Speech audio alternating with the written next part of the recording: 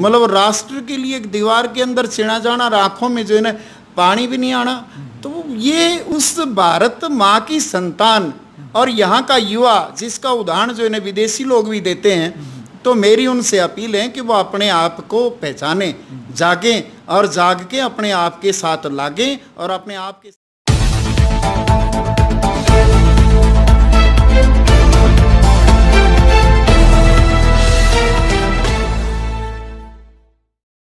नमस्कार, मैं हूँ अजय भारद्वाज और आप इस समय ग्राउंड मीडिया देख रहे हैं और जिस प्रकार से चुनावी सर्वे और लगातार किसी न किसी हम दिग्गज नेता से हम मुलाकात करवा रहे हैं, पता है कि जो हरियाणा के अंदर भी आने वाला जो विधानसभा चुनाव है, मोदी लहर दिन प्रतिदिन बढ़ रही है। लोकसभा चुनाव के अंदर भी हरियाणा की जो दस की दस सीटें भारतीय जनता पार्टी ने जीती हैं। अब हर कोई पार्टी, चाहे वो जेजेपी हो, चाहे वो इनल हो, चाहे कांग्रेस हो, चाहे बीजेपी, इसकी जो राजनीतिक सरगर्मियाँ उसमें तेज हो चुकी है। लेकिन सबसे ज़्यादा सरगर्मियाँ, वो भारतीय जनता पार्टी की क्यों तेज हुई है? क्योंकि हर एक विधानसभा क्षेत्र से यदि हम टिकट की दावेदारी की बात करें, कहीं दस हैं, कहीं पच्चीस है, कहीं तीस है, कहीं बीस है, कहीं पचास है तो टिकट की सबसे ज़्यादा दावेदारी ठोकने वाला जो हरियाणा के अंदर नब्बे के नब्बे विधानसभा क्षेत्र में एकमात्र भारतीय जनता पार्टी के जो सबसे ज़्यादा टिकटार थे, वो भारतीय जनता पार्टी में है।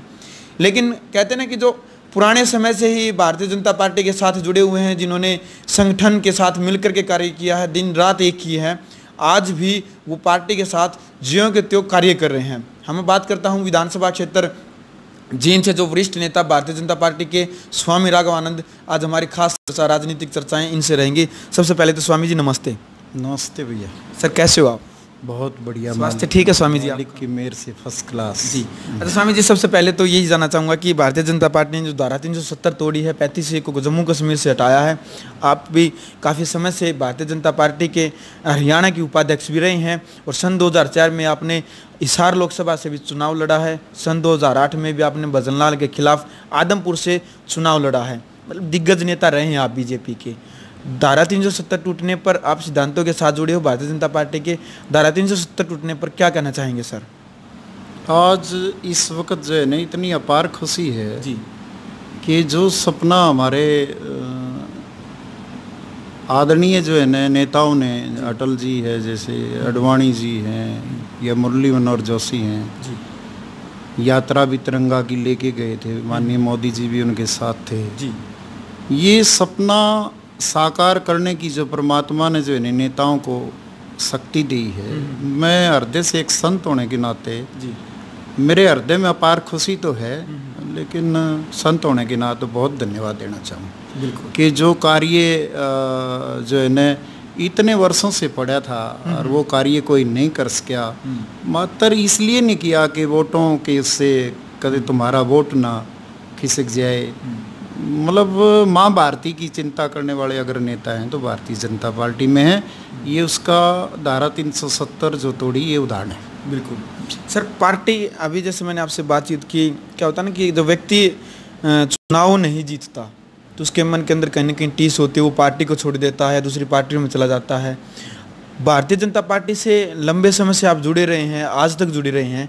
क्या कारण है सर? क्या पसंद है पार्टी की नीतियाँ या फिर पार्टी के अंदर कोई ऐसा नेता आज भी आप उसके चरित्र पर जो चले हुए हैं क्या लगता है सर भारतीय जनता पार्टी से जुड़ने का मुख्य कारण क्या है सर आपका?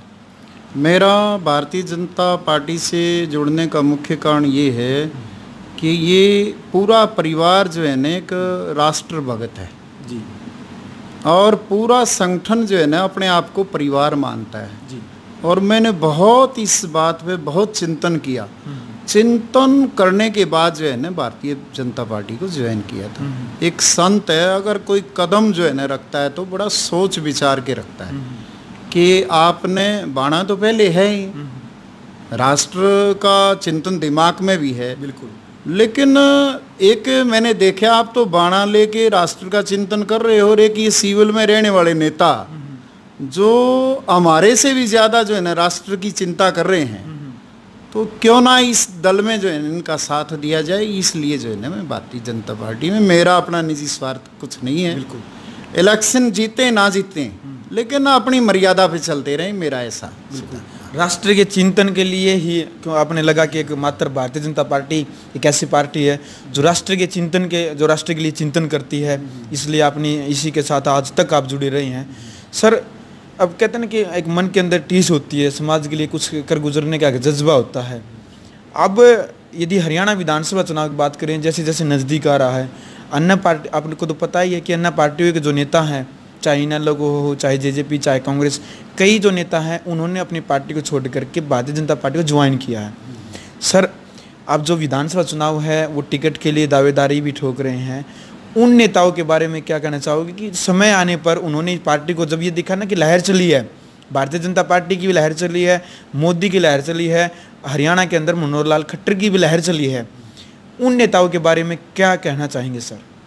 ऐसा है परिवार बढ़ता है अच्छा लगता है बिल्कुल। और अच्छा लगना भी चाहिए। पता नहीं दूसरी पार्टियों में भी ऐसा ही रहा हो। जो यहाँ भारतीय जनता पार्टी की रीति नीति और उसके संस्कार मान के जो है ना काम करना चाहता हूँ। तो मैं इस चीज़ का जो है ना विरोध नहीं करना चाहता। आए परिवार बढ़ेगा अच्छी बात है। बिल्कुल। जितना बड़ा समूह होगा जितने बैठ के ज़्यादा चिंतन करके ना जो है ना ऐसा मुझे नफरत नहीं है ये सच्चाई है। क्योंकि मैं तो चाहता हूँ भाई ये बहुत बड़ा जो है ना एक दल बने। और आज ये भी सच्चाई है कि खुशी है कि संसार में इसके मुकाबले में आज पार्टी नहीं है। भारतीय जनता पार्टी का जो संगठन है इसके मुकाबले में कोई पार्टी नहीं है। बिल्कुल। और उनको भी एक अवसर मिलेगा कि आप अच्छे सज्जन पुरुषों के पास आए हो जो विचारक हैं। जैसे हमारे आरएसएस के इतने त्यागी तपस्वी जिनका अपना निजी जीवन में कोई स्वार्थ नहीं। एक एक श्वास जो है ना उनका हर वक्त तो माँ भारती के लिए लगता है। बिल्कुल। उन लोगों को वो मिलेंगे उनके दर्शन करेंगे और दर्शन करने के बाद उनके मुख से जो विचार और वाणी सुनेंगे वो विचार कभी न कभी उनके भी हृदय में जो है ना घर कर जाएँगे। तो इसलिए मुझे अच्छा लगेगा कुणबा बड़ा हो और उन संस्कारों से ओतप्रोत। हो बिल्कुल। मतलब उनसे मिलेंगे तो ओतप्रोत संस्कारों से होंगे मुझे खुशी है बिल्कुल बहुत बढ़िया सर। अच्छा सर हरियाणा के अंदर भारतीय जनता पार्टी का नारा है कि अब की बार पचहत्तर पार आपको क्या लगता है कि जो लहर बनी है पहली बार दो हज़ार चौदह में हरियाणा के अंदर बीजेपी की सरकार बनना अच्छे बहुमत से अब 2019 के अंदर एक ऐसा नारा छोड़ना कि पचहत्तर पार क्या लगता है आपको कितनी सीटें ले पाएँगी भारतीय जनता पार्टी? हमारे जो माननीय बड़े नेता हैं ना माननीय प्रधानमंत्री नरेंद्र मोदी जी जी। भाई अमित शाह जी जो हमारे देश के आज गृह मंत्री हैं और संगठन का काम करने में तो उनका मुकाबला नहीं। जी। यानी जो आकलन उनके अंतकण में पहले चिंतन करके आता है या वो सलाह तो सबसे लेते हैं। बिल्कुल। और जो निकालते हैं जैसे लोकसभा में कितनी सीट आएँगी पहले उनने ऐसा अंदाज़ा था। आज भी जो वो अपनी तरफ़ से नहीं बोल रहे कोई ये सोचे भाई ये अहंकार की बात कर रहे हैं भारतीय जनता पार्टी वाले? नहीं। ये जनता की आवाज़। जनता की आवाज़ को जनता के सामने भारतीय जनता पार्टी के नेता बता रहे हैं। ये सच्चाई है कि अब की बार कुछ भी हो सकता है। तो आपके कहने का अभिप्राय है कि ये भारतीय जनता पार्टी जो चित्र पार कर रही है ये अभिमान नहीं स्वाभिमान है। जी। ये स्वाभिमान की बोली ही बोल रही है। जी। है ना जी? ये अभिमान नहीं है। हाँ। ये एक जनता की आवाज़ उस जनता की आवाज़ को बता रहे हैं वो उनकी मर्ज़ी वो किस विवेक से सुन रहे हैं। वो उनकी मर्ज़ी हो उसके अहंकार गिन रहे हैं क्या गिन रहे हैं लेकिन समाज बता रहा है। समाज के लोग तो पचहत्तर से भी ज़्यादा की चर्चा कर रहे हैं। लेकिन वो पचहत्तरे बता रहे हैं। लेकिन वो पचहत्तर से भी ज़्यादा चर्चा कर रहे हैं समाज पूरे हरियाणा का। क्योंकि इसका कारण है हमारे मुख्यमंत्री जी ने जो काम किया है ना मतलब नब्बे विधानसभा। किसी विधानसभा में ये नहीं देखना भाई ये चौटाले का विधायक है या ये कांग्रेस का विधायक। है उस कुर्सी के ऊपर बैठने के बाद उस कुर्सी का मान सम्मान करना यानी एक राजा के अंदर समदृष्टि होनी चाहिए कि ये तेरा ढाई करोड़ का जो परिवार है ना तेरा अपना है। उसमें कोई पार्टी उसको देखनी नहीं चाहिए अगर सिंहासन पे वो विराजमान जब से बैठे हैं। और ये मनोहर लाल जी ने जो है ना प्रत्यक्ष प्रैक्टिकल रूप में करके दिखाया है यानी सबका साथ और सबका विकास। बिल्कुल। अच्छा सर दो हज़ार चौदह के अंदर, ना दो हज़ार चार के अंदर आपने हिसार लोकसभा से जैसे चुनाव लड़ा था, उस टाइम पर कहते ना कि माहौल कुछ और था बीजेपी के प्रति। लोगों का रुझान नहीं था, कम था उन विकट परिस्थितियों में भी आपने चुनाव लड़ा। यदि अब, यदि लहर है, मोदी लहर भी है, भारतीय जनता पार्टी की एक लहर है, और आप तो उस टाइम से लेकर आज तक जो भारतीय जनता पार्टी ने आपको जो ज़िम्मेदारी दी है, आपने उसको वो खूबी रूप से निभाया है। अब यदि भारतीय जनता पार्टी आपको नब्बे की नब्बे विधानसभा सीटों में कहीं से यदि आपको टिकट देती हैं उसके लिए आपकी तैयारियाँ हैं सर उसके लिए? ऐसा है यहाँ तैयारियाँ संगठन ही करता है। जी। कार्यकर्ता करता है। संगठन की मर्ज़ी होती है। संगठन से केवल प्रार्थना की जाती है। अगर हमें ये मान लिया हमने ये करना है तो वो गलत है।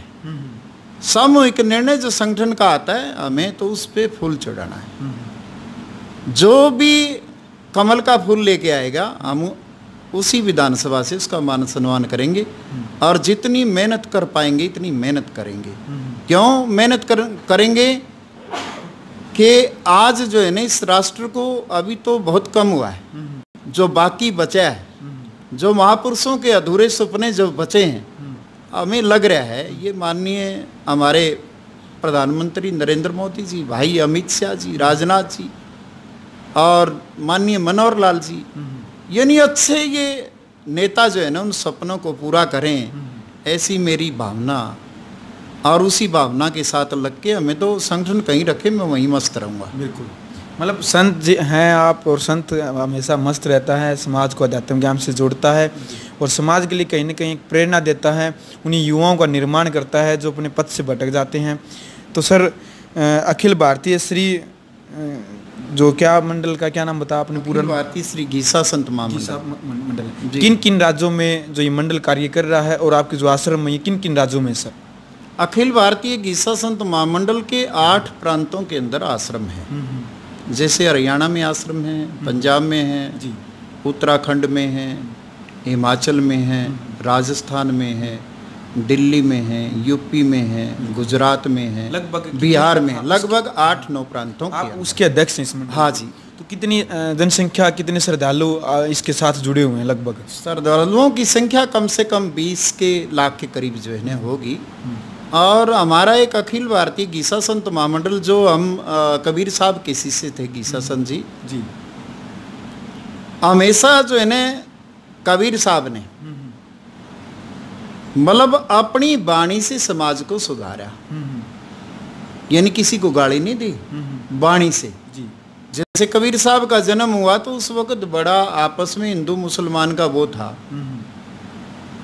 तो केवल वाणी से ही जो है ना यानी दिशा को समाज की दिशा को बदल देना उसको मोड़ देना। बिल्कुल। यानी अनेक लोग जो है ना हिंदू धर्म को छोड़ छोड़ के दूसरे उसमें जा रहे थे। और एक वाणी से ही शिक्षा दे के जो है ना उसको कंट्रोल करना।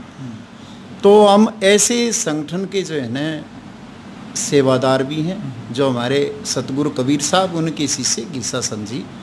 तो हमारे आश्रम हमेशा जितने भी आश्रम हैं जैसे नशे से दूर रहना। जी। बहुत नशे से दूर रहते समाज की सेवा करना कहीं भी इस किस्म का प्राकृतिक कोई प्रकोप है उसमें बढ़ चढ़ के हिस्सा लेना। तो ये हमारे समाज का जो है ना हमेशा बुराई में जो है ना कभी नहीं आते। समाज में जो है ना अच्छे काम करने का काम करते हैं चाहे संस्था कोई स्कूल चलाने का हो या कोई गौ सेवा का कोई माध्यम हो या अनेक और सेवा का कोई माध्यम हो अपने हाथ से जो है ना स्वयं जो है ना सेवा करना चाहते हैं ऐसा संगठन है। बिल्कुल ऐसा सर कई जैसे बाबाओं से मिलता हूँ मैं जो भगवादारी जो होते हैं वो कई बार क्या होता है ना कि या तो पता नहीं वो अविद्या है या उनका जो प्रचलन है वो गांजा चरस जैसे जो बीड़ी तम्बाकू हुक्के सुट्टे वो इस प्रकार का नशा करते हैं वो भगवादारी भी होते हैं। वो फिर वो बाबा कहते हैं बोला शिव होता था शिव भी भाँग पीता था हम भी भाँग पीते रगड़ करके। वैसे ही उनकी एक प्रचलन वैसा वो कुछ कहते हैं। उनके बारे में क्या कहना चाहोगे? वो अविद्या है या उनका प्रचलन ऐसा होता है? ऐसा है वो बड़े महापुरुषों का उदाहरण देके अपनी वासनाओं की पूर्ति करते ऐसा कहीं नहीं लिखा कि महादेव जी जो है ना इस किस्म का कोई नशा करते थे। महादेव जी के तो मालिका नाम का इतना नशा था कि जहर पीने के बाद भी असर नहीं हुआ। वो महादेव जी। बिल्कुल। और उनका जो है ना उदाहरण देते हैं। तो परमात्मा ने ये पंच भौतिक जो छोड़ा दिया है ये परमात्मा का रूप परमात्मा ने कोई चीज़ इससे अलग नहीं रखी। बिल्कुल बिल्कुल। इसी रूप के अंदर जो है ना कोई साइंटिस्ट बन गया कोई बहुत बड़ा वैज्ञानिक बन गया कोई बहुत बड़ा डॉक्टर बन गया और कोई ऐसा जो है ना नेता बन गया जिसने पूरे समाज को तो ये एक नारायण का रूप है। इस मंदिर को इस मानव मंदिर को अंदर से संवार के हमने रखना चाहिए। इसमें बेकार नहीं आने देनी चाहिए। बिल्कुल बहुत बहुत धन्यवाद। इसमें अगर हम धुआँ गेरेंगे नशा गेरेंगे तो उस आसन की पवित्रता कैसे रहेगी? जैसे एक माननीय नरेंद्र मोदी जी का उदाहरण देंगे हम कि जिस वक्त नवरात्रे आते हैं और वो सज्जन पुरुष वो महापुरुष मात्र एक जल के अंदर भी जो है ना अपना शरीर को चलाता है तो उन्हें जान लिया इस शरीर को पहचान लिया इस शरीर को और पहचान लिया जान लिया इसलिए पूरे समाज के दर्द को जान लिया। इसलिए वो सेवा करते हैं। जन जन का आशीर्वाद भी इसलिए मिल रहा है क्योंकि उनने अपने आप को जान लिया। जिन्हें अपने आप को जान लिया पूरे जगत को पहचान लिया। बिल्कुल बहुत बढ़िया सर। सर हमारा जो चैनल है ग्राउंड मीडिया इसके माध्यम से युवाओं को क्या संदेश देना चाहेंगे? क्योंकि आज का जो युवा है ज़्यादातर वो संघर्ष जो पुरुषार्थ का जीवन है उससे दूर हट करके एक शॉर्टकट विधि अपना रहा है पैसा कमाने के लिए। जी जी। उसको पुरुषार्थ भी करना पड़ेगा संघर्ष भी करना पड़ेगा कामयाब होने के लिए। कुछ युवा हैं जो नशे की गिरफ्त में आ रहे हैं तो उनको एक संघर्ष के लिए प्रेरित करना और नशे से दूर रहना हमारे ग्राउंड मीडिया चैनल के माध्यम से क्या संदेश देंगे सर? मैं अपने युवा साथियों से जो है ना ऐसी प्रार्थना करना चाहूँगा कि परमात्मा ने ये चौड़ा जो मानव का दिया है इससे बढ़ के कोई चीज़ नहीं। क्योंकि कबीर साहब कहते हैं कि एक एक सांस की कीमत तीन लोग का मोल है। तो इस श्वास को हमारे युवा साथियों ने व्यर्था नहीं खोना चाहिए बल्कि एक एक सांस के साथ उन्हें जोड़ना चाहिए कि तेरा कर्तव्य क्या है। तेरा कर्तव्य है अपने माँ बाप की सेवा करना। तेरा कर्तव्य है जो तेरे सहपाठी है, मित्रों की जो है ना, सेवा करना। तेरा कर्तव्य है तेरे आसपास के जो रियास है, जिस नगरी में तू रहता है, उन सबको सुखी देखना। लेकिन उन सबको सुखी आप कब कर पाओगे? जब आप अपने आप के साथ जुड़ जाओगे, यानी उस सांस के साथ जुड़ जाओगे कि एक एक सांस मेरा परमात्मा के चिंतन में जो है ना जाना चाहिए। और जिस वक्त वो अपने आप के साथ जुड़ जाएँगे ये नशे सारे जो है ना दूर भाग जाएँगे। उन नशों में आनंद नहीं है। मात्र क्षण मात्र।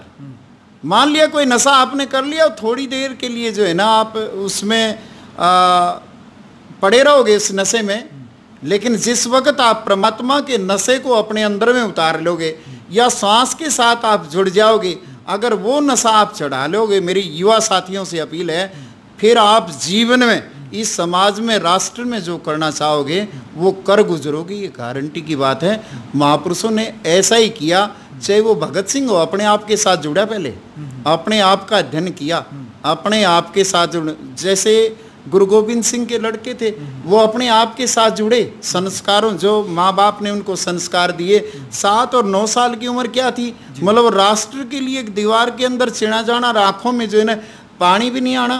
तो ये उस भारत माँ की संतान और यहाँ का युवा जिसका उदाहरण जो है ना विदेशी लोग भी देते हैं तो मेरी उनसे अपील है कि वो अपने आप को पहचाने जागें और जाग के अपने आप के साथ लागें और अपने आप के साथ लगेंगे तो समाज का भी हित करेंगे मेरी ऐसी अपील। बिल्कुल।